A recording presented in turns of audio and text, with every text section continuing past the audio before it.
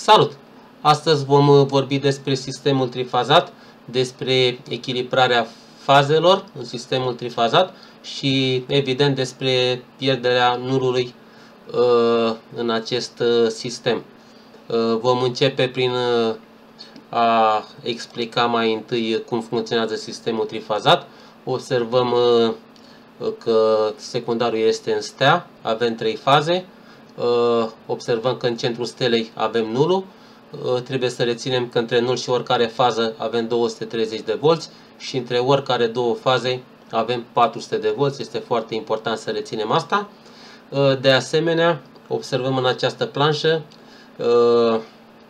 că ruperea conductului de nul sau pen, mai exact în cazul caselor, este asemănătoare cu cazurile care se întâmplă la bloc, doar că la case la fiecare BMP avem o împământare care poate schimba puțin uh, regulile, evident.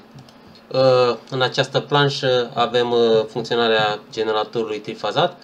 Observăm că avem trei bobine care reprezintă trei faze. Avem și graficul în partea dreaptă. În momentul în care magnetul trece prin uh, fața fiecărei bobine, se generează sinusoida.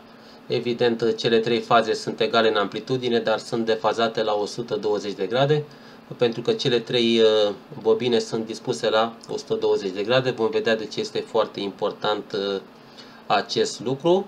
Uh, haideți să mergem pe simulator. În această planșă avem transformatorul, avem bobina, avem faza L1, faza L2 și faza L3. Uh, aceste trei faze sunt defazate la 120 uh, de grade. De asemenea avem trei apartamente, fiecare cu un boiler și un televizor. Uh, sarcinile sunt perfect egale în toate cele trei apartamente. Din acest motiv observăm că pe conductorul nul nu se transportă nimic, avem 0 amperi. De ce se întâmplă asta? Pentru că fazele sunt perfect echilibrate. Uh, fiecare fază trece prin consumator și ajunge pe bara de nul. Fiind defazate la 120 de grade, uh, curenții se anulează vectorial și vom avea 0. În acest moment uh, totul se întâmplă numai pe faze, nu avem niciun fel de curent transportat pe nul, evident este o situație ideală. Dacă vom dezechilibra puțin acest uh, sistem. Uh, deja am oprit uh, boilerul din apartamentul 1. Vom mări puțin și viteza de simulare.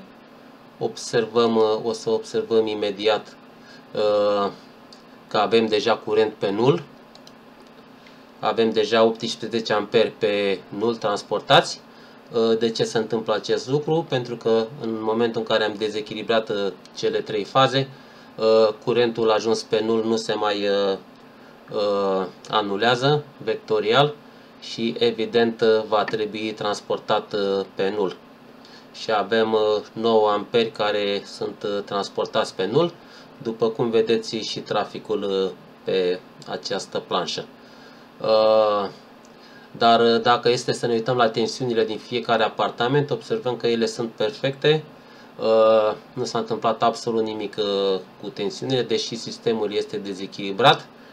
Uh, nulul, după cum vedem, transportă, evident, transportă 8 amperi. Haideți să vedem ce se întâmplă dacă pierdem în această situație și nulul, dacă avem un defect.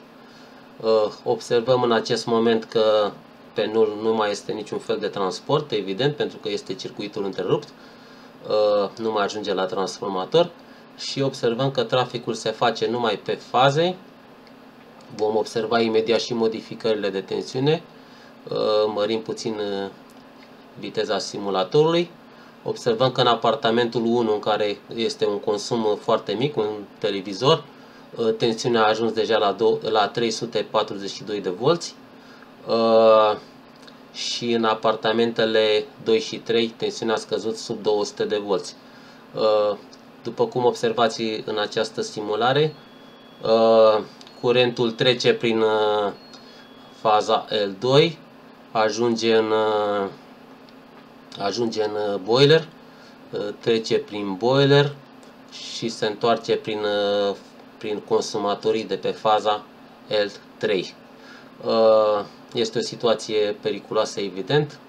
Televizorul din apartamentul 1 ar putea să, ar putea să ia foc la această tensiune care poate urca până la aproape 400 de volți. Evident și echipamentele din apartamentele 2 și 3 pot suferi datorită subtensiunilor.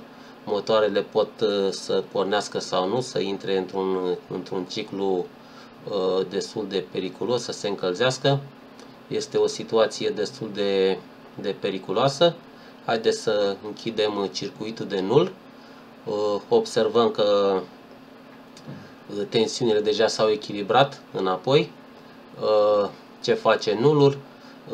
Creează referința și evident ajută foarte, foarte mult să, să, nu, avem, să nu avem probleme. După cum, cum ați văzut în, în această simulare. Am reechilibrat fazele și după cum v-am mai spus se observă pe, pe nul că nu avem niciun fel de curent transportat. Uh, motivul pentru care în trifazat conductorul de nul nu este mai gros de 3 ori decât fazele este, așa cum v-am spus, uh, în cazul în care fazele sunt echilibrate, nulul nu transportă nimic și evident nulul nu are nevoie să fie supradimensionat într-un, într-o rețea uh, într-un sistem trifazat.